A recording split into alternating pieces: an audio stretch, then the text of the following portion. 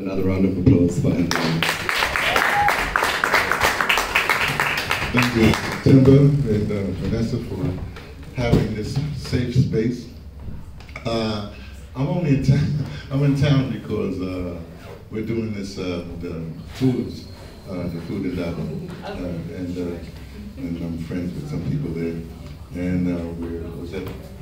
Yeah, I mentioned Ganesh. I was eating at Ganesh. All right. Past, and I said, well, one thing should rather have a margarita. Now I'm here. Anyway, um, I'm going to do a poem that I wrote a few months ago when I was in India, because they also had an open mic, and uh, at the time, um, uh, well, Gaza was in the news, so I wrote a poem. Now the poem I'm going to do is a, it's called a Kwansaba. It's a, it's a seven, it's a 49 word poem. It's seven lines of uh, seven words per line, Wow. and each word has to be um, less than seven letters. It's a form that, that was uh, um, cultivated by a poet uh, in the States called Eugene B. Redmond out of East St. Louis. I've known him for years, and uh, and I, I don't write them often, but I, well, I wrote, I wrote this particular one. Okay, so, oh, by the way, I should say one thing. I come from uh, the Black Arts experience in the 60s, and we're famous for uh, talking more than the poem. Talk to the poem in the introduction. Anyway, so here we go. This is called Heal a Heal, a towards Gaza.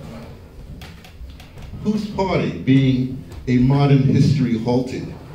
Whose life being forced to a stop? Where story uh, being filled fold to a scolding?